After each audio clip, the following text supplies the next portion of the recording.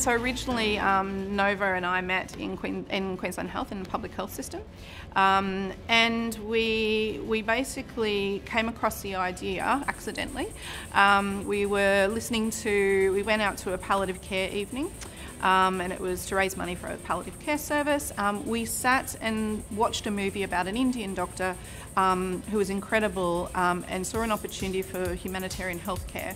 He was literally taking people who were dying in the streets and he took them um, into a facility that he, he made out of really a warehouse and things um, and allowed, gave them pain relief and allowed them to die with dignity.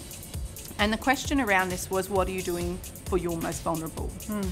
And it was a it was a fundraiser and there was wine involved and networking.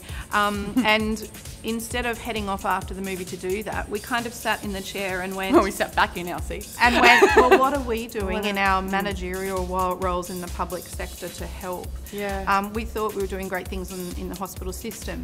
Um, and then we realised there was a whole cohort of people who weren't either were inappropriately accessing healthcare or weren't accessing it.